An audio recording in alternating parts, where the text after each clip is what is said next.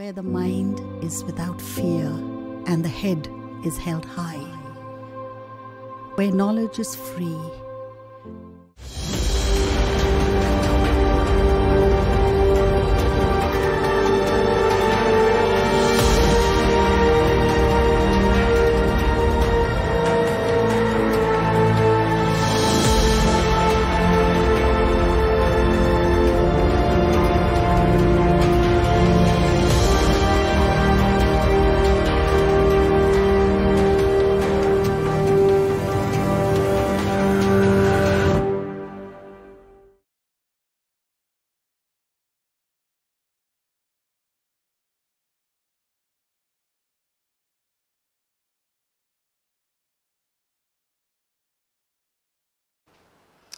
Hello student কেমন আছো? আশা করি ভালো আছো। তোমরা জানো, জেলা প্রশাসন এবং ডিআইবিসের উদ্যোগে আমরা তোমাদের টেলিভিশনের মাধ্যমে ক্লাস নিচ্ছি। আজকে আমি তোমাদের নবম শ্রেণির ক্লাস নেব। এর আগে নবম শ্রেণির অন্যান্য মাস্টারমশাইরা তোমাদের ক্লাস নিয়েছেন, দিদিমণিরা তোমাদের ক্লাস নিয়েছেন। আমি doctor Ashis Kumar Basak, assistant headmaster এবং বায়োলজির শিক্ষক অক্রমণী করোনেশন ইনস্টিটিউশন। আজকে তোমাদের নবম শ্রেণির জীবন বিজ্ঞানের যে ক্লাস নিব, তার বিষয় হচ্ছে জৈবনিক প্রক্রিয়া ফিজিওলজিক্যাল প্রসেস আমরা জানি জীবদেহের প্রচুর ভেতরে শারীরবৃত্তীয় প্রক্রিয়া হয়। সেটা উদ্ভিদ হতে পারে, সেটা প্রাণী হতে পারে। সেই প্রক্রিয়াগুলো আমাদের দৈনন্দিন জীবনে চলে। তেমনি আমরা আজকে তার উপভাবমূল উদ্ভিদ শারীরবিদ্যা তাহলে উদ্ভিদের দেহে কি কি প্রক্রিয়া চলে? তাদের মধ্যে একটি আমি নেব, সেটা হচ্ছে শালক সংশ্লেষ। শালক সংশ্লেষ এমন একটা প্রক্রিয়া যেটা তোমরা নিচের ক্লাস থেকেই তোমরা প্রায় জেনে এসেছ। এটা উদ্ভিদের একটা প্রধান শারীরবৃত্তীয় প্রক্রিয়া। এবং এটা উদ্ভিদের প্রক্রিয়াই নয়, এই প্রক্রিয়ার ফলে সমস্ত জীব জগৎ বেঁচে আছে। সেই জন্যই আমরা উদ্ভিদকে এত গুরুত্ব দিই। উদ্ভিদ ছাড়া প্রাণীদের অস্তিত্ব রাখা অসম্ভব। কারণটা কি? শালক সংশ্লেষ প্রক্রিয়ার মাধ্যমে আমরা সেটা জানতে পারব। শালক সংশ্লেষ কি আগে জেনে নিব? শালক সংশ্লেষ কথাটা এসেছে দুটো গ্রিক শব্দ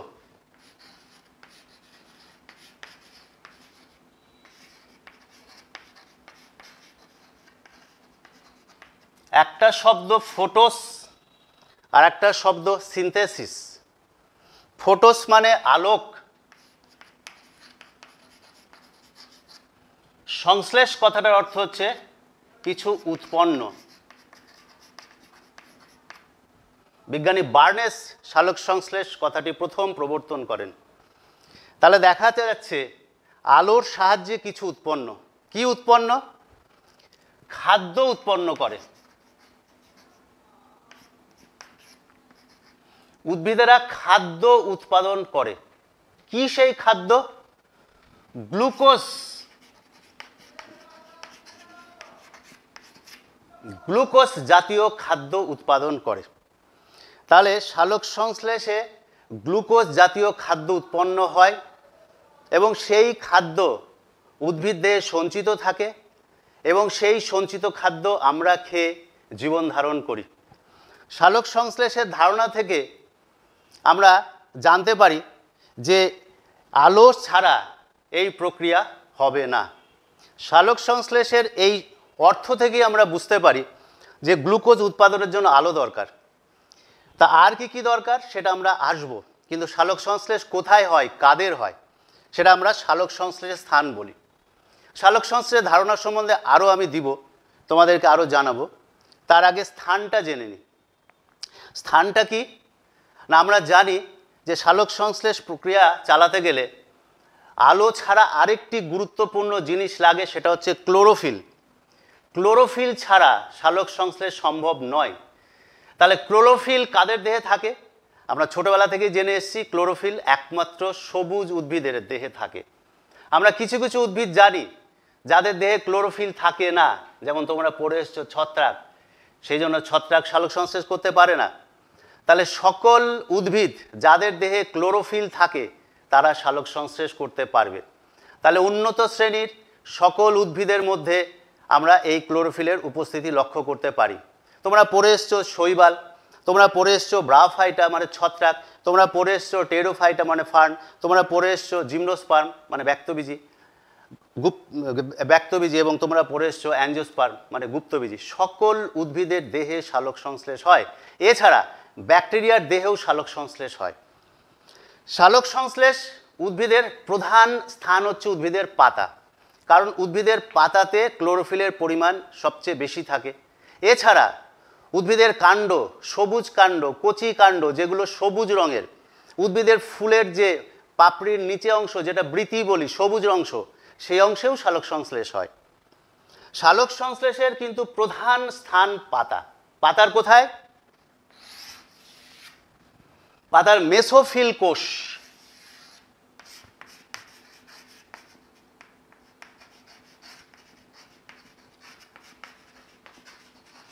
প্রধান স্থান কাণ্ডেও হয়? কিন্তু সালোক সংশ্লেষের প্রধান স্থান হচ্ছে পাতার মেসোফিল কোষ। মেসোফিল কোষের মধ্যে কি থাকে? ক্লোরোপ্লাস্ট নামক একটা অঙ্গাণু থাকে।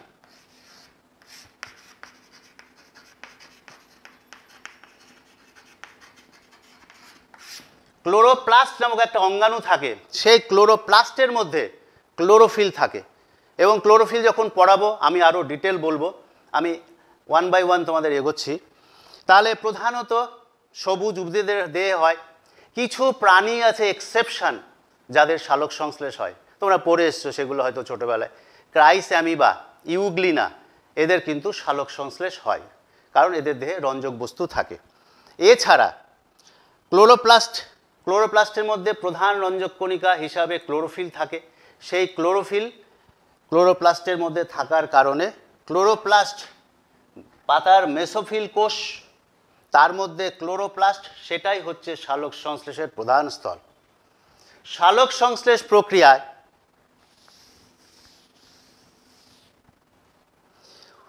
উৎপন্ন গ্লুকোজ, এই গ্লুকোজের মধ্যে আমরা শক্তি, উদ্ভিদেরা শক্তি সঞ্চয় করে রাখে।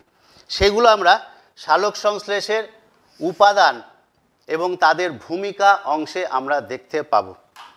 সালোক সংশ্লেষের উপাদান প্রধান উপাদান, কার্বন ডাইঅক্সাইড এবং জল।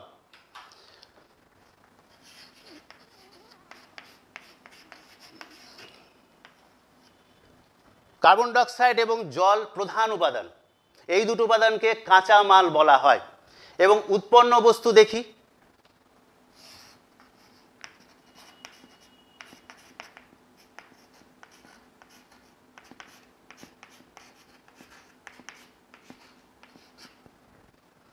সালোক সংশ্লেষের উপাদান হিসাবে চারটে জিনিস আছে।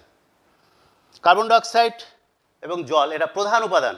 কারণ গ্লুকোজ উৎপাদনে এদের ভূমিকা আছে। সালোক সংশ্লেষ প্রক্রিয়ায় সূর্যালোক এবং রঞ্জক পদার্থ সাহায্যকারী উপাদান।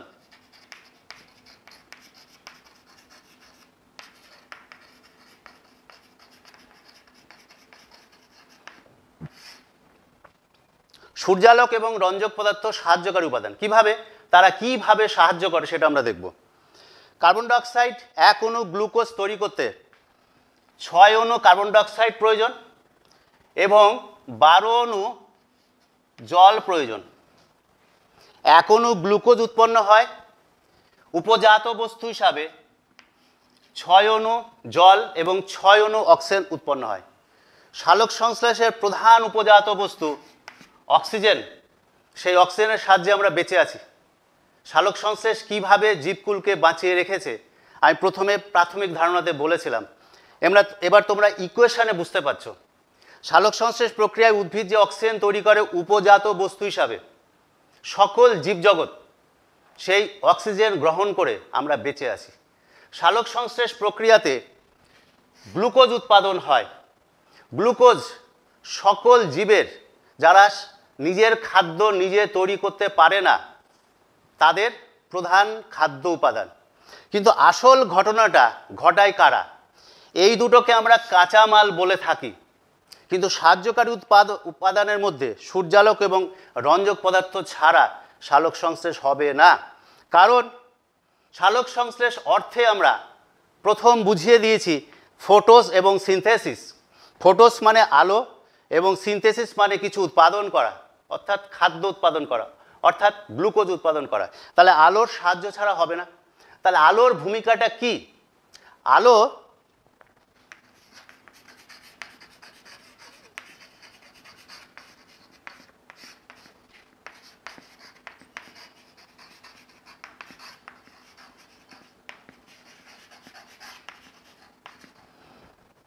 আলো এবং রঞ্জক পদার্থের বিরাট ভূমিকা। আলোর মধ্যে, সূর্যের আলোর মধ্যেই সকল শক্তি নিহিত আছে। সূর্যের শক্তিকে উদ্ভিদেরা সালোক সংশ্লেষ প্রক্রিয়ায় কাজে লাগায়। সূর্যালোকের যে অদৃশ্য যে কণা, ফোটন কণা, তার মধ্যে প্রচুর শক্তি থাকে। সেই শক্তি সূর্য আলোকের ফোটন কণা, রঞ্জক পদার্থ অর্থাৎ ক্লোরোফিল, সেটাকে কনভার্ট করে, পরিবর্তিত করে। আলোক শক্তি রাসায়নিক শক্তিতে রূপান্তরিত করে এবং সেই রাসায়নিক শক্তিটা এটিপির মধ্যে সঞ্চিত থাকে। তোমরা আগেই পড়েছো, এটিপিকে এনার্জি কারেন্সি বলা হয়। এটিপির পুরো নাম অ্যাডনোসিন টাইফসফেট স্টুডেন্টস, তোমাদের একটা কথা আমি শুরুতে বলা দরকার ছিল, এখন বলে দিচ্ছি। তোমরা খাতা, যারা বই বের করনি, তোমরা বই বের করো সালোক সংশ্লেষ প্রক্রিয়াটা বের করো এবং সঙ্গে খাতা রাখো এবং পেন রাখো। প্রয়োজনীয় তথ্যগুলো তোমরা সঙ্গে সঙ্গে লিখে নিবে। এবার সালোক সংশ্লেষ প্রক্রিয়ার আসল বেসিসটা হচ্ছে আলোক শক্তিতে রাসায়নিক শক্তিকে রূপান্তরিত করা এবং সেটা এনার্জি কারেন্সি এটিভির মধ্যে সেটা সঞ্চিত রেখে এটাকে স্থৈতিক শক্তি রূপে গ্লুকোজের মধ্যে আবদ্ধ রাখে। এবং সেই গ্লুকোজ জাতীয় খাদ্য যারা সালোক সংশ্লেষ করতে পারে না, তারা গ্রহণ করে অর্থাৎ উদ্ভিদে সঞ্চিত খাদ্য। সেটা উদ্ভিদ দেহে এই গ্লুকোজটা স্টার্চ হিসাবে জমা হয়, আবার গ্লুকোজটা কনভার্সন হয়ে ফ্যাট, প্রোটিন হিসাবে জমা থাকে। সেই খাদ্য খেয়ে আমরা আমাদের শক্তি গ্রহণ করি এবং সেই শক্তির দ্বারা আমাদের জৈবনিক প্রক্রিয়া সম্পন্ন হয়। তাহলে আমাদের সমস্ত জৈবনিক শক্তি, আমাদের প্রক্রিয়া চালানোর জন্য যে শক্তি দরকার, সেই শক্তির উৎস কিন্তু সূর্য। এবং সেই শক্তি আমরা সরাসরি গ্রহণ করে আমাদের জৈবনিক কাজে ব্যবহার করতে পারছি না, সেটা খাদ্য গ্রহণের মাধ্যমে আমরা সেই শক্তি অর্জন করছি। সুতরাং আমরা পরোক্ষভাবে এবং প্রত্যক্ষভাবে উদ্ভিদের উপর আমরা নির্ভরশীল। সালোক সংশ্লেষ বিক্রিয়া, এই বিক্রিয়ায় আমরা দুটো জিনিস লক্ষ্য করতে পারছি। যে দেখা যাচ্ছে কার্বন ডাইঅক্সাইড এবং জল তারা কাঁচামাল হিসাবে ব্যবহৃত হচ্ছে। গ্লুকোজ জাতীয় খাদ্য উৎপাদন হচ্ছে। উপজাত বস্তু হিসাবে জল এবং অক্সিজেন উৎপন্ন হয়। এই অক্সিজেন উদ্ভিদদের সরাসরি তখনই পত্রন্দের মাধ্যমে বায়ুতে নির্গত করে এবং সেই অক্সিজেন বায়ুতে মিশে গিয়ে আমাদের সেই অক্সিজেন যোগান দেয়। সালোক সংশ্লেষ প্রক্রিয়াটিতে কার্বন ডাইঅক্সাইড উদ্ভিদেরা বায়ুমণ্ডল থেকে পত্রন্দের মাধ্যমে তারা গ্রহণ করে এবং সেই কার্বন ডাইঅক্সাইডের কার্বন গ্লুকোজে আবদ্ধ হয় এবং সেই গ্লুকোজ সাইটোপ্লাজমে অঙ্গীভূত হয়। সেই জন্য সালোক সংশ্লেষ প্রক্রিয়ার অপর নাম অঙ্গার আত্মীকরণ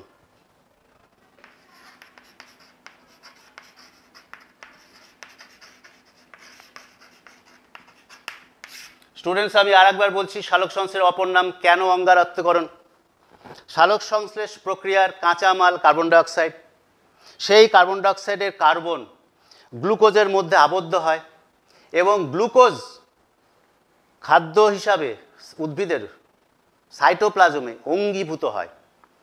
সেই কার্বন সাইটোপ্লাজমে অঙ্গীভূত হওয়ার কারণে সালোক সংশ্লেষ প্রক্রিয়ার অপর নাম অঙ্গার আত্মীকরণ সালোক সংশ্লেষ প্রক্রিয়ায় আর একটা জিনিস লক্ষণীয়। সালোক সংশ্লেষ প্রক্রিয়াকে জারণ বিজারণ প্রক্রিয়া বলা হয়।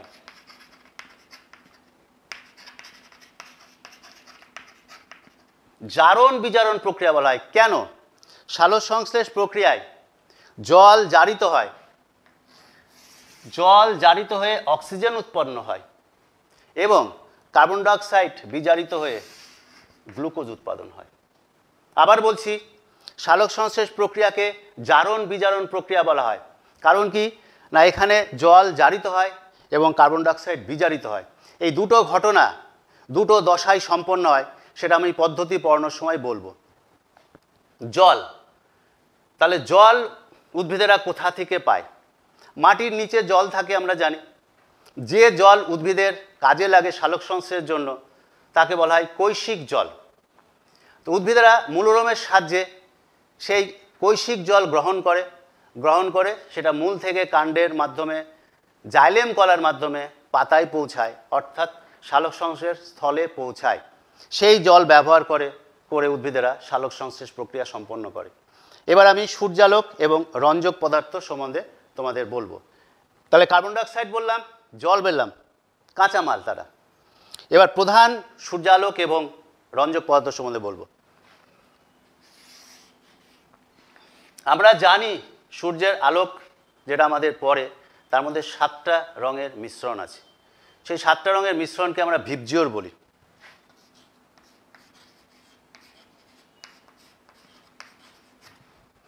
সূর্যের আলো পাতার মধ্যে পতিত হয় এবং রঞ্জক পদার্থ সেই আলোক, আলোগুলো শোষণ করে।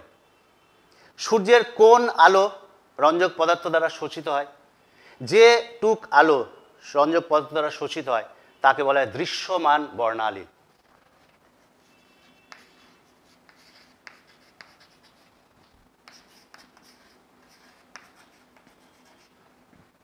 তিনশো ষাট তরঙ্গ দৈর্ঘ্য সম্পন্ন আলো থেকে সাতশো আশি ন্যানোমিটার তরঙ্গ দৈর্ঘ্য আলো পর্যন্ত উদ্ভিদেরা রঞ্জক পদার্থ দ্বারা সেই আলোটাকে শোষণ করে। সেই জন্য এই আলোটাকে বলা হয় দৃশ্যমান বর্ণালী।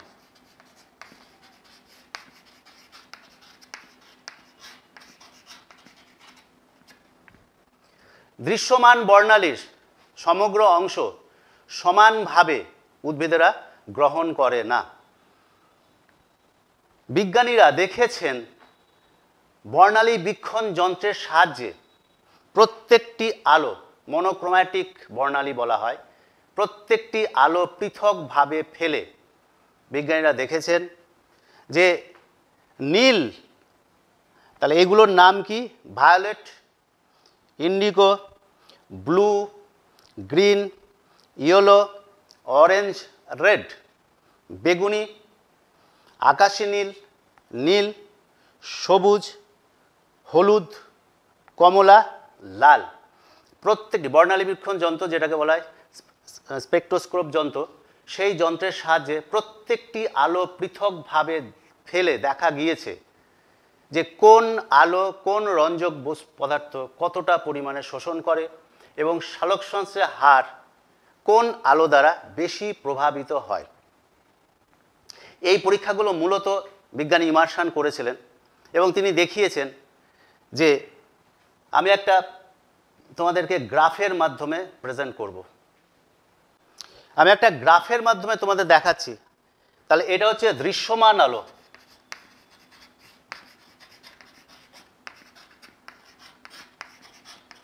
দৃশ্যমান বর্ণালী।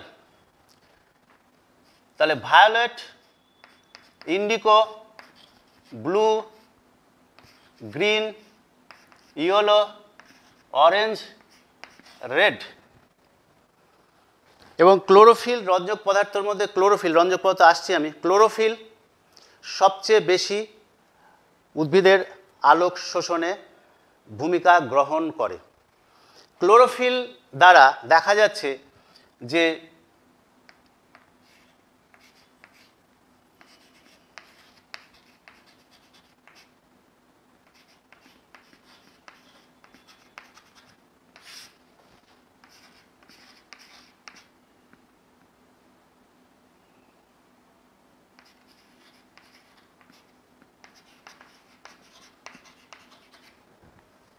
ক্লোরোফিল দ্বারা দেখা যাচ্ছে যে এই দুটো রেঞ্জের আলো সবচেয়ে বেশি শোষিত হয় এবং সালোক সংশ্লেষের হার সবচেয়ে বেশি এই দুটো আলো দ্বারা।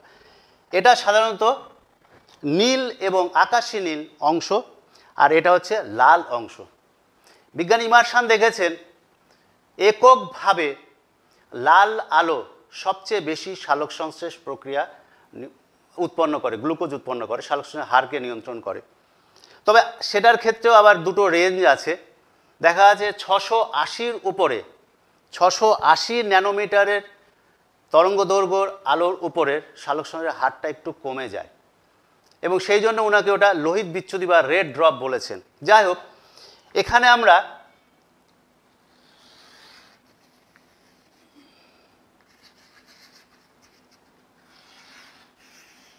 আমরা দেখতে পারি যে লাল আলো ক্লোরোফিল এ দ্বারা সবচেয়ে বেশি শোষিত হয়। এটা যদি ওয়েবলেন্থ হয় আর এটা যদি শোষণের রেখা হয়, তাহলে দেখা যাবে যে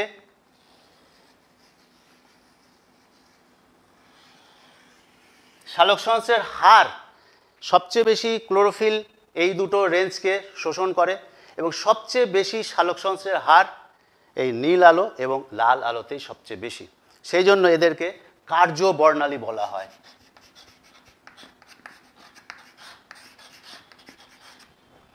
তাহলে আমরা একটা দৃশ্যমান বর্ণালী বললাম, যে বর্ণালীটা উদ্ভিদেরা শোষণ করে। সাতশো ষাট ন্যানোমিটারের ঊর্ধ্বে আলো আছে সেগুলো সূর্যালোক থেকে আসে। সেগুলোকে ইনফ্রারেড বলা হয়, আমরা সেটা দেখতে পারি না। এই আলোটা আমরা দেখতে পারি না। এর নিচের আলো আছে, যেটাকে আমরা ইউভি রে আরও আছে। তা আমরা ইউভি রে বলি আলট্রা ভায়োলেট রে বলি, সেটাও আমরা দেখতে পারি না। তাহলে কিসের জন্য দৃশ্যমান আলোটুক ওইটুক আলোয় সালোক সংশ্লেষে কাজে লাগে? তার ঊর্ধ্বের আলোটা কেন কাজে লাগে না? তার নিম্নাংশের আলো কেন কাজে লাগে না?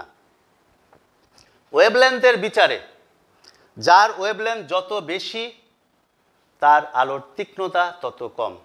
যার ওয়েবলেন্থ যত কম, তার তীক্ষ্ণতা তত বেশি, অর্থাৎ শক্তি তত বেশি। রেড অংশের ঊর্ধ্বে যে আলোগুলো ইনফ্রারেড বলছি, সেটা সালোক সংশ্লেষের দ্বারা ক্লোরোফিলকে উত্তেজিত করতে পারে না।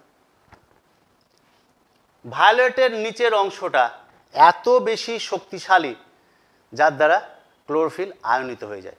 সেই জন্য দৃশ্যমান আলোটাই সালোক সংশ্লেষের কাজে শোষিত হয় এবং দৃশ্যমান আলোর মধ্যে নীল এবং লাল এই দুটো সবচেয়ে বেশি ব্যবহৃত হয়। এই জন্য এই দুটোকে কার্য বর্ণালী বলা হয়। এবার আমরা রঞ্জক পদার্থ সম্বন্ধে বলব।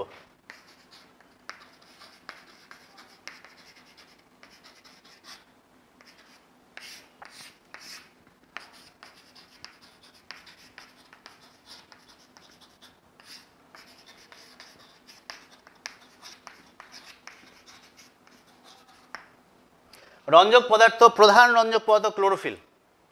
ক্লোরোফিল অনেক রকমের হয়। Chlorophyll A chlorophyll B chlorophyll C chlorophyll D chlorophyll E শালক সংশ্লেষের কাজে সবচেয়ে বেশি প্রয়োজনীয় হচ্ছে ক্লোরোফিল এ তার কারণ আমি একটু পরে বলছি। ক্যারোটিনয়েড দুই প্রকারের।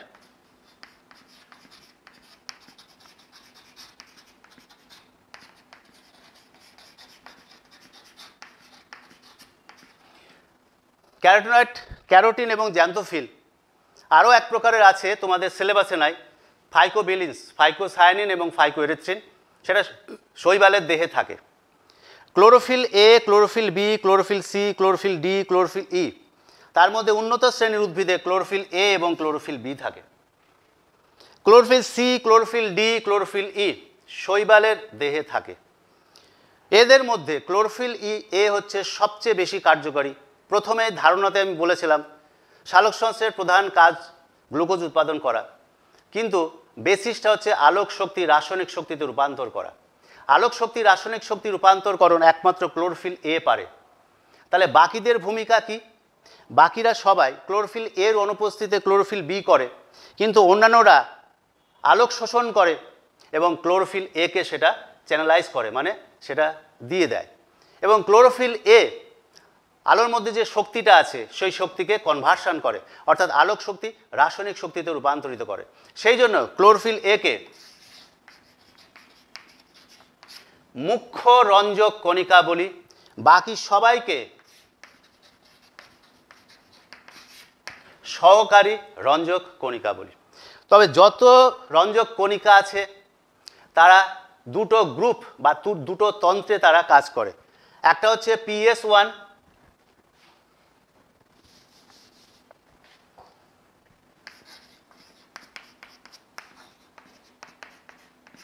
একটা হচ্ছে পিএস টু পিএস ওয়ান রঞ্জকতন্ত্রে ক্লোরোফিল এ বেশি থাকে এবং ক্যারোটিন থাকে।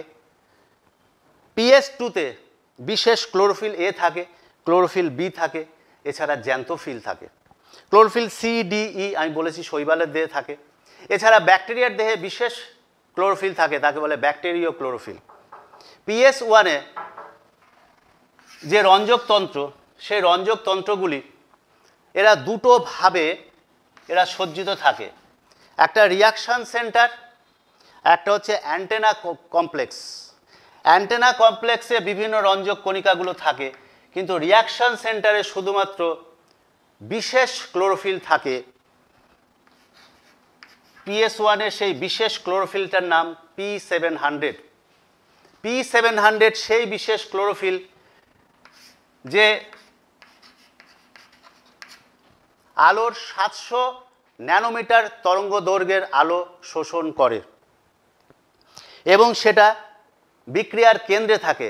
অর্থাৎ সেই রঞ্জক তন্ত্র ফোটো সিস্টেম যেটাকে বলেছি ফোটো সিস্টেম ওয়ান এবং ফোটো সিস্টেম টু সেই ফোটো সিস্টেম ওয়ানের বিক্রিয়া কেন্দ্রে থাকে এবং সেই পরিধি যেগুলো দেখাচ্ছি এইগুলো হচ্ছে অ্যান্টেনা কমপ্লেক্স তাহলে বাকিরা সেই সব জায়গায় থাকবে, আলো শোষণ করবে এবং রিয়াকশান সেন্টারকে দিয়ে দিবে।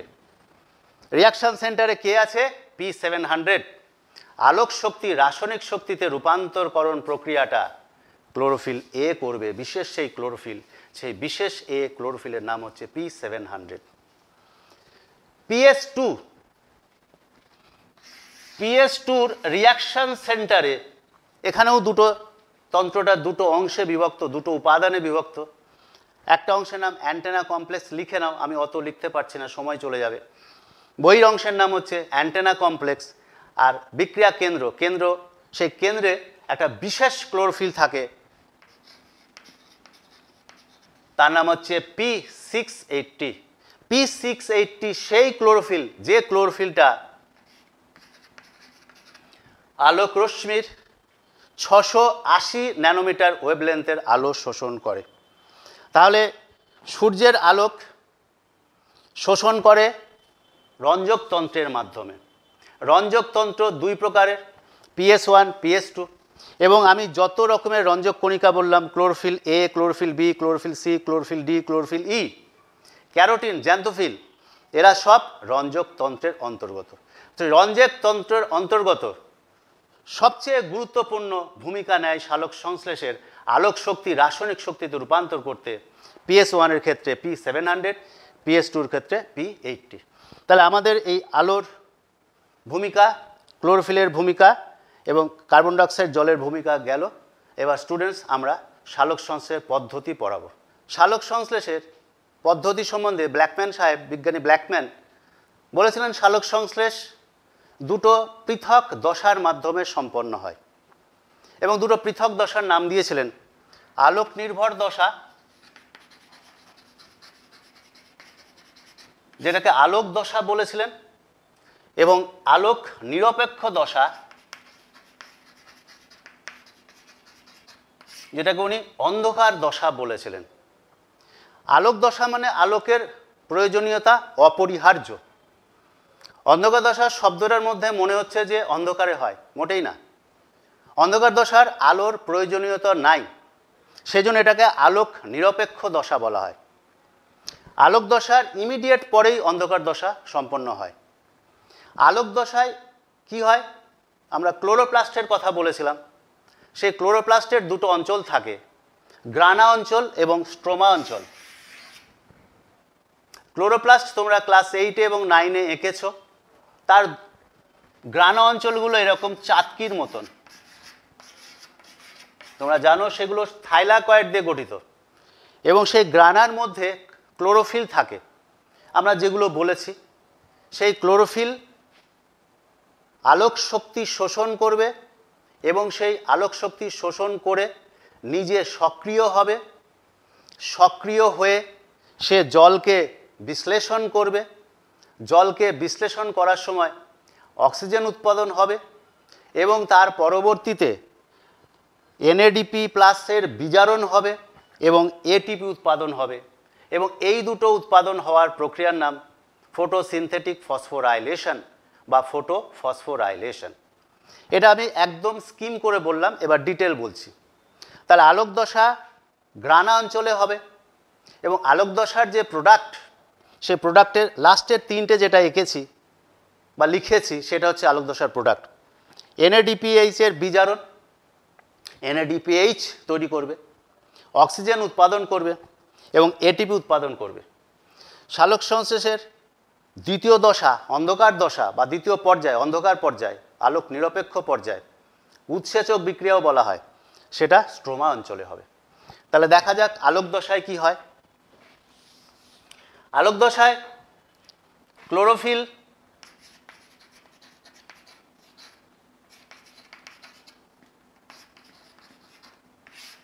ক্লোরোফিল সূর্যালোক শোষণ করবে। ক্লোরোফিল বলতে রঞ্জক দশা, রঞ্জক তন্ত্র। পিএস ওয়ান, পিএস টু বলেছিলাম। তারা আলোক শক্তি শোষণ করবে, শোষণ করে ক্লোরোফিল সক্রিয় হবে। তাহলে প্রথম হচ্ছে সৌরশক্তির আবদ্ধকরণ। এই আবদ্ধকরণ প্রক্রিয়াটি পিএস ওয়ান এবং পিএস টু করবে এবং সেই আলোক শক্তি গ্রহণ করে ক্লোরোফিল সক্রিয় হবে। সক্রিয় ক্লোরোফিল, অর্থাৎ উত্তেজিত হয়ে যাবে। আলোক শক্তি গ্রহণ করে। এবং উত্তেজিত ক্লোরোফিল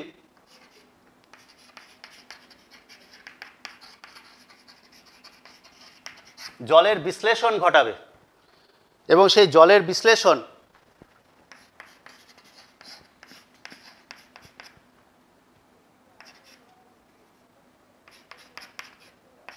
এইচ প্লাস এবং ওএইচ মাইনাস উৎপন্ন হবে।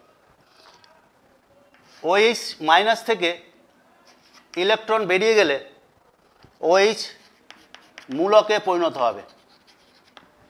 এরকম চারটে ওইচ পরপর যুক্ত হয়ে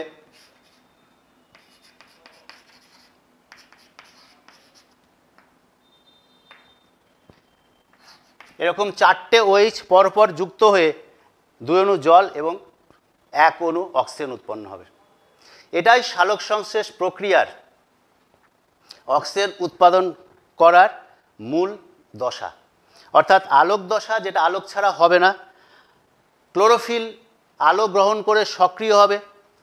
সক্রিয় ক্লোরোফিল জলকে বিশ্লেষণ করবে। জলকে বিশ্লেষণ করে ওএইচ এবং এইচ প্লাস আয়নে বিভক্ত করবে। H plus ion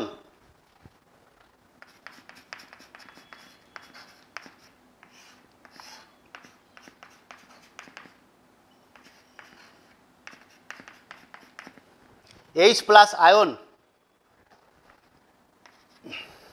এবার এনএডিপিকে বিজারণ করবে এবং এই পুরো প্রক্রিয়াটা যে বিক্রিয়ার মাধ্যমে সম্পন্ন হবে, সেটাকে বলে ফটোসিনথেটিক ফসফোরাইলেশন বা ফোটো ফসফোরাইলেশন সেটা আমরা বলব।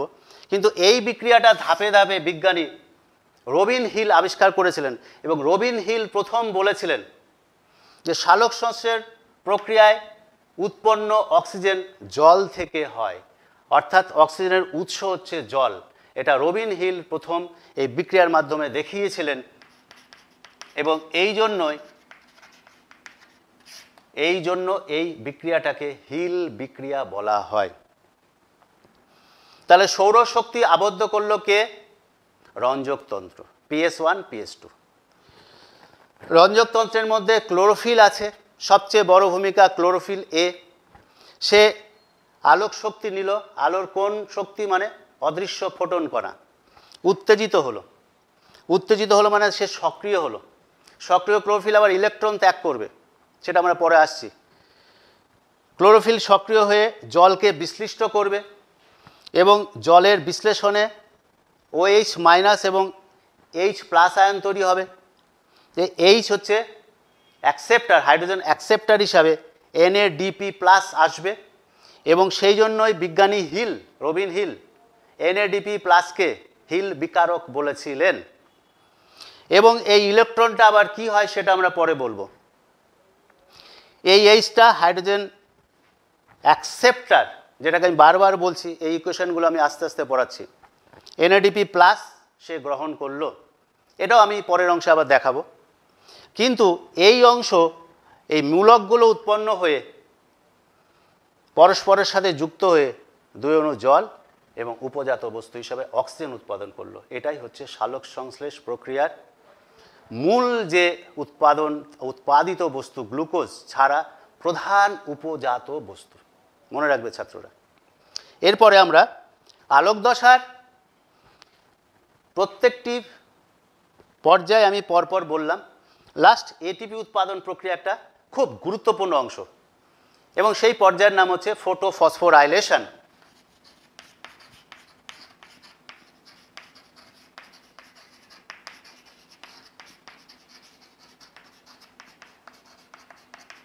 ফোটোফসফোরাইলেশন কথাটি অর্থ আর কিছুই না এটিপি উৎপাদন। আরেকটু যদি ভালো করে বলি, প্রথম ধারণাতে যেটা দিয়েছিলাম আলোক শক্তি রাসায়নিক শক্তিতে রূপান্তরকরণ প্রক্রিয়া, সেটাই এখানে হয়। আমরা তার পরের ধাপে যেটা গ্লুকোজ উৎপাদন হবে, সেটার নাম জৈব সংশ্লেষ। এবং সেই জৈব সংশ্লেষে গ্লুকোজ উৎপাদন হয়, সেই গ্লুকোজের মধ্যে অক্সিজেন ইভলিউশন হয়ে যায়, কিন্তু এনএডিপিএইচ এবং এটিপি সেই গ্লুকোজের মধ্যে আবদ্ধ হয়। এটিপি শক্তি ধরে বলে এটাকে এনার্জি কারেন্সি বলা হয়। এর পুরো নাম অ্যাডিনোসিন ট্রাইফসফেট, লিখে রাখতে পারো। এনএডিপির পুরো নাম লিখে রাখতে পারো। Nicotinamide, adenine dinucleotide phosphate. আবার বলছি, এনএডিপির পুরো নাম নিকোটিনামাইড অ্যাডিনাইন ডাইনিউক্লোটাইড ফসফেট। ছাত্ররা, আমি এত কথা এখানে লিখছি না সেই জন্য মুখে রিপিট করে বলছি। এত কথা লিখতে গেলে আমার অনেক সময় যাবে। ফটোফসফোরিলেশন দুটো উপায়ে হয়।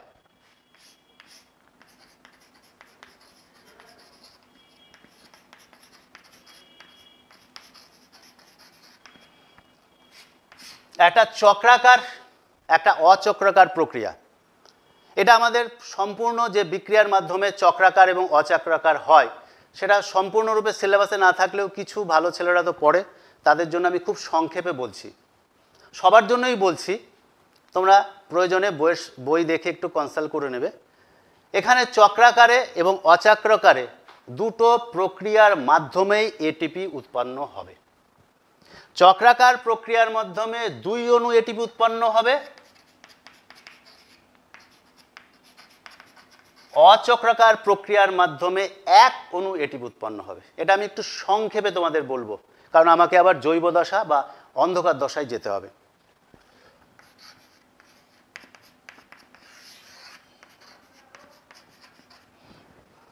পিএস ওয়ানের প্রধান রিয়াকশন সেন্টারের ক্লোরোফিল অণুর নাম পি সেভেন হান্ড্রেড সূর্যালোক গ্রহণ করে উত্তেজিত হয়ে যায়। উত্তেজিত হলে ইলেকট্রন ত্যাগ করে। সে ইলেকট্রন গ্রাহক থাকে। তার নাম, আমি সংক্ষেপে লিখছি, ফেরিডক্সিন বা এফডি ফেরিডক্সিন কি করে? আরেকটি বাহক আছে, তার নাম পিকিউ আমি বলে দিচ্ছি পুরো নাম। প্লাস্টোকুইনন। এত কথা লিখতে গেলে আমার সময় লাগবে, তোমরা জানো। Ferredoxin, plastoquinone. তারপরে সাইটোক্রোম কমপ্লেক্স, সাইটোক্রোম বি এবং এফ কমপ্লেক্স, সিওআইটি লিখি, সাইটোক্রোম। তারপরে পিসি, প্লাস্টোসায়ানিন। তাহলে এই ইলেকট্রনগুলো বাহক ঘুরে, ইলেকট্রন বাহক বলা হয়, ঘুরে ঘুরে সেই ক্লোরোফিল অণুতে আবার প্রবেশ করে। ভীষণ কম সময়ের মধ্যে। এই প্রক্রিয়াটি ত্বরান্বিত হতে গেলে total ten to the power minus nine থেকে ten to the power minus three সেকেন্ডের মধ্যে সম্পন্ন হয়। এত কম সময়ের মধ্যে এই প্রক্রিয়াটা ক্লোরোফিল এ ছাড়া অন্য কেউ পারে না, সেই জন্য ক্লোরোফিল এ প্রধান রঞ্জক কণিকা। এত কম সময়ের মধ্যে সম্পন্ন হতে হবে। এবং এই ইলেকট্রনের মধ্যে শক্তি আছে এবং ইলেকট্রন বাহকগুলো, ইলেকট্রন কেরিয়ারগুলো যখন আরেকটি কেরিয়ারকে সেই শক্তি দিয়ে দেয়, তখন সেই শক্তি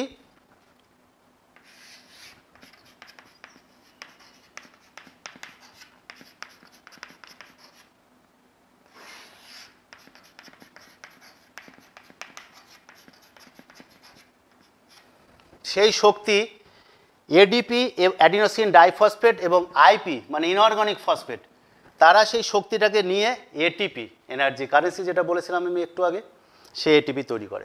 এর মধ্যেই শক্তি আছে। আলোক শক্তিতে রাসায়নিক শক্তিতে রূপান্তরিত হয়েছে এবং সেটাই গ্লুকোজের মধ্যে স্থৈতিক শক্তি রূপে জমা থাকবে।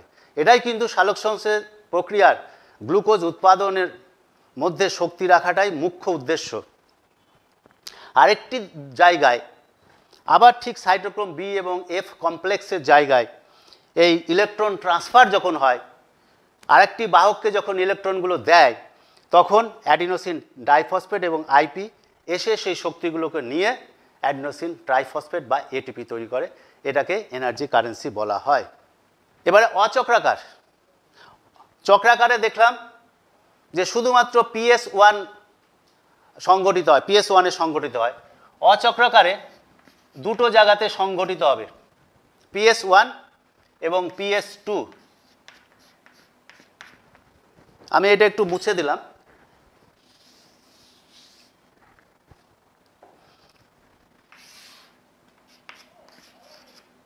পিএস ওয়ানে তোমরা জানো পি সেভেন হান্ড্রেড থাকে পিএস টুর বিক্রিয়া কেন্দ্রে তোমরা জানো পি সিক্স এইটটি থাকে।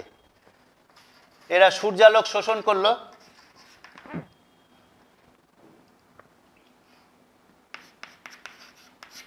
পিএস ওয়ান থেকে নির্গত ইলেকট্রন ফেরিডক্সিন বাহক নিল। ফেরিডক্সিন বাহক পিএস টুকে আর পিএস ওয়ানকে আর দিল না। অচক্রকার বলছি।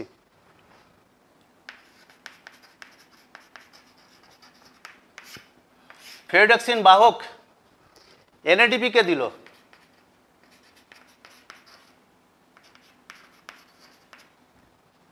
পিএস টু যে উত্তেজিত হলো পি এইটটি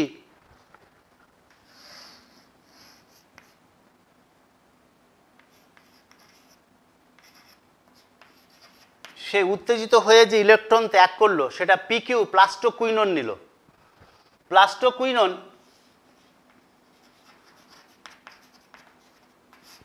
সাইটোক্রোম বিএফ মানে সাইটোক্রোম কমপ্লেক্স সাইটোক্রোম কমপ্লেক্সকে দিল সাইটোক্রোম কমপ্লেক্স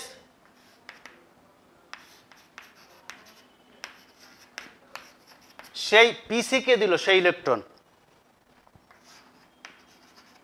পিসি প্লাস্টোসায়ানিন সেই ইলেকট্রনকে পিএস ওয়ানে দিয়ে পিএস ওয়ানের শূন্যতা পূরণ করল। তাহলে পিএস টুর শূন্যতা পূরণ কে করবে? আমরা আগেই বলেছিলাম জল বিশ্লেষণ হয়, এটা একই প্রক্রিয়া। জল বিশ্লেষণের ফলে এইচ প্লাস আমি দুই করে নিলাম এইচ প্লাস এবং ওএইচ মাইনাস যে উৎপন্ন হয়, সে ও এইচ মাইনাস ইলেকট্রন ত্যাগ করে আগেই বলেছিলাম ওএইচে পরিণত হয়, মূলকে পরিণত হয়। সেই ইলেকট্রন পিএস টুকে দেবে এবং পিএস টুর ইলেকট্রন শূন্যতা পূরণ হবে। পিএস ওয়ান থেকে যে ইলেকট্রন বেরিয়ে গেছে সেই ইলেকট্রন শূন্যতা পিএস টুর ইলেকট্রন এসে পূর্ণতা প্রাপ্তি করল। পিএস টুর যে ইলেকট্রন শূন্যতা, পিএস টু থেকে যে ইলেকট্রন বেরিয়ে গেছে, সেই ইলেকট্রন শূন্যতা জল ভেঙে হলো। এবং এই টু এইচ এনএডিপি এর সাথে যুক্ত হয়ে বিজারিত এনএডিপিএইচ উৎপন্ন করে। তাহলে এই প্রক্রিয়ায় সাইটোক্রোম বি এবং এফ কমপ্লেক্সের ওখানে যখন ইলেকট্রন ট্রান্সফার হয়, তখন এডিপি এবং আইপি যুক্ত হয়ে ATP energy currency adenosine triphosphate উৎপন্ন হয়। অচক্রাকার প্রক্রিয়ায় একটি জায়গাতে এটিপি উৎপন্ন হয়, চক্রাকার প্রক্রিয়ায় দুটি জায়গাতে এটিপি উৎপন্ন হয়। এবং এই প্রক্রিয়াটি অনেকটা জেডের মতন দেখতে বলে এটাকে জেড প্রকল্প বা জেড স্কিম বলা হয়। আমি বলে দিলাম, এবার তোমরা বইয়ে একটু মিলিয়ে নাও এবং এবং এটা খুব ক্রিটিক্যালি পড়ার দরকার নাই। এটিপি উৎপাদন প্রক্রিয়া ফোটো ফসফোরাইলেশন প্রক্রিয়ার মাধ্যমে সম্পন্ন হয় এবং ফোটো ফসফোরাইলেশন প্রক্রিয়াতে এটিপি ছাড়াও এনএডিপিএইচ উৎপন্ন হয়, যেটা অন্ধকার দশা বা জৈব সংশ্লেষ দশায় আমরা এখন কাজে লাগাবো এবং এখানে জল বিয়োজনের ফলে ওএস থেকে যে অক্সিজেন উৎপন্ন হয়, সেটা আমরা আগেই দেখিয়েছি, সেটা ইভলিউশন হয়ে পাতার মাধ্যমে বেরিয়ে যাচ্ছে। এবার আমরা শুধু একটি পোর্শন আমাদের বাকি আছে, জৈব সংশ্লেষ বা গ্লুকোজ উৎপাদন প্রক্রিয়া। আমরা এর আগে আলোক দশা পড়ালাম। ব্ল্যাকম্যান সাহেব আগেই বলেছিলেন যে সালোক সংশ্লেষ নিশ্চিত রূপে দুটো পর্যায়ের মাধ্যমে সম্পন্ন হয়। একটা হচ্ছে আলোক নির্ভর দশা, আলোর অপরিহার্যতা, সেটা আমরা দেখলাম। আলোক দশাতে তিনটে জিনিস উৎপন্ন হয়। আমি আবার রিপিট করছি অক্সিজেন উৎপন্ন হয় এটিপি উৎপন্ন হয় এনএডিপিএইচ উৎপন্ন হয়। অন্ধকার দশার প্রধান উৎপাদিত বস্তু গ্লুকোজ, এবং সেই জন্য এটাকে জৈব সংশ্লেষ বলা হয়। এই বিক্রিয়া চালাতে অনেক উৎসেচক লাগে, কিন্তু তোমাদের সিলেবাসে দেখবে উৎসেচকের উল্লেখ করা নাই বলে আমি বেশি উৎসেচকের নাম বলব না, তাই তোমরা মনে রাখতে পারবে না। এবং এই প্রক্রিয়াটি আলোকদশা শেষ হওয়ার পরেই সম্পন্ন হয়। অন্ধকদশার প্রধান বিক্রিয়ার প্রধান বিক্রিয়াগুলি কি কি? প্রথমত হচ্ছে কার্বন ডাইঅক্সাইড স্থিতিকরণ এবং পিজি উৎপাদন। কার্বন ডাইঅক্সাইড কি করে স্থিতিকরণ হয়? Carbon dioxide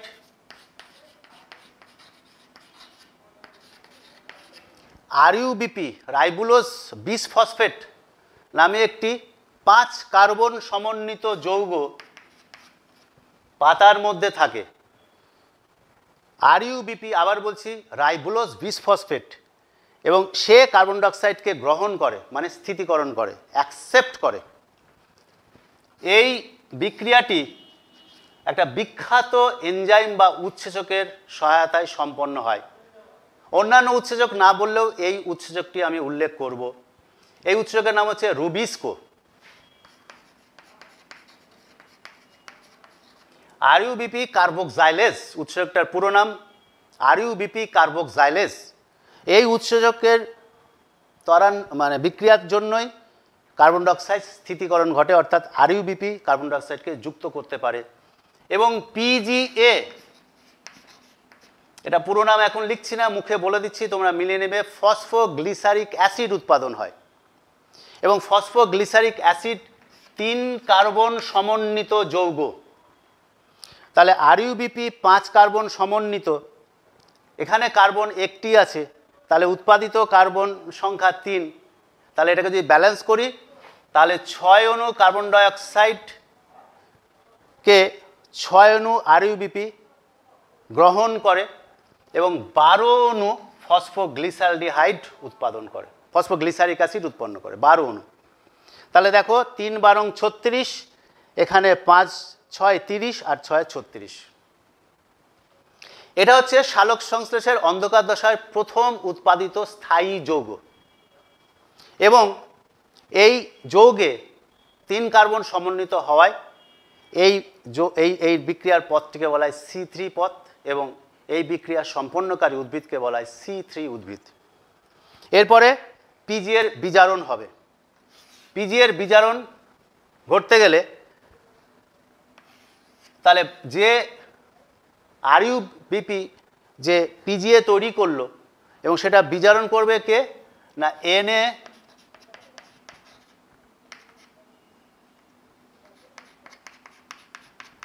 এনএডিপিএইচ এসে দুটো হাইড্রোজেনকে দিয়ে দিবে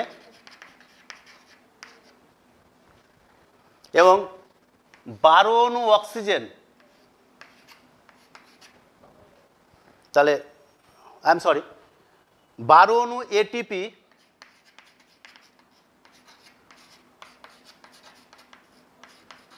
এই বিক্রিয়াতে প্রয়োজন। তাহলে বারো অণু পিজিএ বারো অণু পিজিএএলডি বা ফসফোগ্লিসালডিহাইড উৎপাদন করবে। আবার বলছি, বারো অণু পিজিএ বারো অণু পিজিএল গঠন করে বিজারণের মাধ্যমে। তাহলে এই বিজারণ প্রক্রিয়ার জন্য হাইড্রোজেন লাগবে। তাই বারো অনু এনএডিপিএইচ এবং বারো অনু এটিপি যে এটিপিটা আলোক দশায় উৎপাদন হয়েছিল, যে এনএডিপিএইচটা আলোক দশায় উৎপন্ন হলো, সেটা পিজিএলডের মধ্যে প্রবেশ করল। এই বারো অনু পিজিএল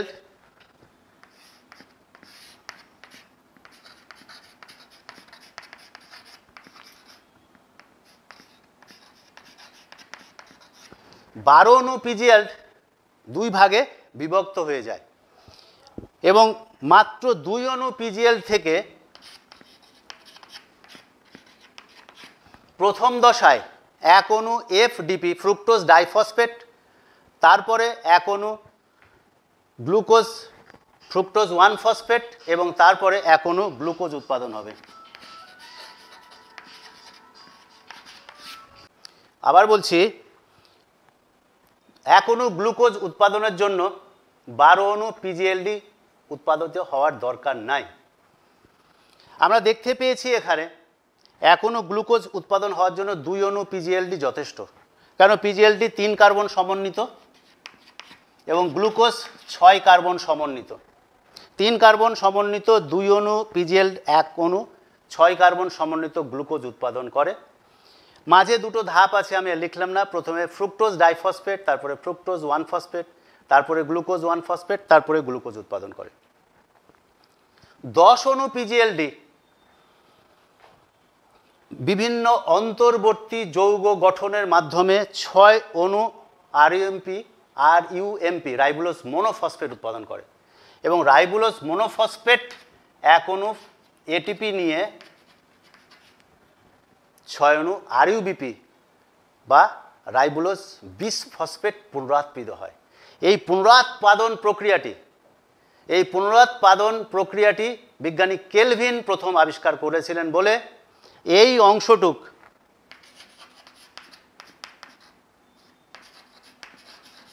এই অংশটুকু আমরা কেলভিন সাইকেল হিসাবে খ্যাত বা মনে করা হয়। বিজ্ঞানী কেলভিনের নাম অনুসারে এই অংশটুকুকে কেলভিন সাইকেল বলা হয়। তাহলে অন্ধকার দশায় আমরা দেখলাম সাম আপ করছি অন্ধকার দশা। অন্ধকার দশায় প্রথমে কার্বন ডাইঅক্সাইডের স্থিতিকরণ ঘটবে এবং পিজিএ উৎপন্ন হবে। পিজিএ মানে ফসফোগ্লিসারিক অ্যাসিড আরইউবিপি নামে একটি পাঁচ কার্বন সমন্বিত যৌগ পাতায় আছে। সে কার্বন ডাইঅক্সাইডকে গ্রহণ করল। রুবিস্কো নামে একটা উৎসেচক রাইবুলোস বিস ফসফেট কার্বক্সাইলেজ রুবিস্কো নামে একটা উৎসেচক এই দশা সম্পন্ন করতে, অর্থাৎ এই বিক্রিয়াটা ঘটাতে সম্পন্ন করে। বারো অণু পিজিএ বা ফসফোগ্লিসারিক অ্যাসিড উৎপাদন হলো। বারো অণু ফসফোগ্লিসারিক অ্যাসিডের হাইড্রোজেনের সহায়তায় বারো অণু পিজিএএলডি ফসফোগ্লিসারালডিহাইড, উৎপাদিত হলো এবং সেখানে বারো অনু এটিপি এই ফসফোগ্লিসালডিহাইডের মধ্যে নিযুক্ত হলো। সেই জন্যই এই এনার্জিটা গ্লুকোজে ধরা পড়ল। বারো অণু পিজিএএলডি দুই অণু পিজিএলডি থেকে, বারো অণু পিজিএলডি থেকে দুই অণু পিজিএলডি গ্লুকোজ উৎপাদিত হলো এবং বাকি দশ অণু অন্তর্বর্তী যৌগ গঠনের মাধ্যমে, ছয় অণু আর আরইউএমপি গঠনের মাধ্যমে, ছয় অণু আরইউবিপি বা রাইবুলোজ বিস ফসফেট এর পুনরাত বা পুনঃসংশ্লেষ বা পুনর উৎপাদন হলো। তাহলে এই সালোক সংশ্লেষের আলোক দশা এবং অন্ধকার দশায় গুরুত্বপূর্ণ ঘটনা, আলোক দশায় অক্সিজেন উৎপন্ন হলো এটিভ উৎপন্ন হলো, এনএডিপিএইচ উৎপন্ন হলো। অন্ধকার দশায় মূল গ্লুকোজ, যেটা আমরা সালোক সঙ্গে প্রাথমিক ধারণায় বলেছি, মূল গ্লুকোজ উৎপাদন হলো এবং গ্লুকোজের মধ্যে হাইড্রোজেন প্রবেশ করল, গ্লুকোজের মধ্যে এটিপি প্রবেশ করল। অর্থাৎ গ্লুকোজের মধ্যে শক্তি, আলোক শক্তি, রাসায়নিক শক্তিতে যেটা রূপান্তরিত হয়েছিল, সেটা স্থৈতিক শক্তি রূপে জমা থাকল। এই গ্লুকোজ আমরা গ্রহণ করব বা উদ্ভিদের এই খাদ্য আমরা গ্রহণ করব এবং সেখান থেকে শক্তি আমরা অর্জন করব, সেই শক্তির সাহায্যে আমাদের জৈবনিক প্রক্রিয়া চালাবো। আমরা একদম শেষ অংশে এসে পৌঁছিয়েছি। আমাদের এই চ্যাপ্টারের লাস্ট পোর্শান শেষ অংশ, শালক সংশ্লেষের তাৎপর্য। শালক সংশ্লেষ আমাদের কি উপকার করে? আমরা তো প্রথমেই বলেছিলাম, যে সকল জীবেরা নিজের খাদ্য নিজে তৈরি করতে পারে না, তারা শালক সংশ্লেষের কারণেই বেঁচে আছে। উদ্ভিদের খাদ্য সেই খাদ্যের গ্রহণ করেই তারা বেঁচে আছে। তাহলে যারা পরভোজী, তাদের সকল জীবের খাদ্যের ভাণ্ডার হচ্ছে এই শালক সংশ্লেষ। সারা পৃথিবীতে যত জীবকুল আছে, নিজের খাদ্য নিজে তৈরি করতে পারে না। তারা এই উদ্ভিদের উৎপাদিত খাদ্য খেয়ে তারা নিজের জৈবনিক প্রক্রিয়া সম্পন্ন করছে। তাহলে সারা পৃথিবীর খাদ্যের ভাণ্ডার। খাদ্য খেয়ে কি হয়? না আমরা শক্তি পাই, সেই শক্তির সাহায্যে আমরা আমাদের জৈবনিক প্রক্রিয়া সম্পন্ন করি। তাহলে সেই খাদ্যের মধ্যে সৌরশক্তির আবদ্ধকরণ করা আছে স্থৈতিক শক্তিরূপে আমি বারংবার বলেছি। সেই শৈতিক শক্তি যেটা আবদ্ধ করা আছে, তাহলে সেটা খাদ্যের মাধ্যমে আমরা গ্রহণ করলাম। আর সবচেয়ে যেটা প্রয়োজনীয়, অক্সিজেন এবং কার্বন ডাইঅক্সাইডের ভারসাম্য। আমরা জানি, জীব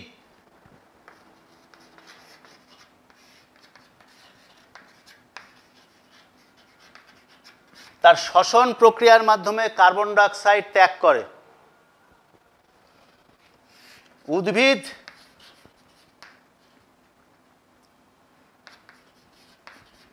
সেই কার্বন ডাইঅক্সাইড গ্রহণ করে সালোকসংশ্লেষে অন্যতম কাঁচামাল। তাহলে পরিবেশের যত কার্বন ডাইঅক্সাইড, সেটা উদ্ভিদ গ্রহণ করছে সালোক সংশ্লেষ প্রক্রিয়ার মাধ্যমে।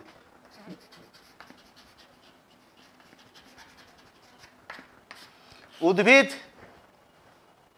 সালোক সংশ্লেষ প্রক্রিয়ার মাধ্যমে অক্সিজেন গ্রহণ করছে। সেই অক্সিজেন জীব গ্রহণ করছে।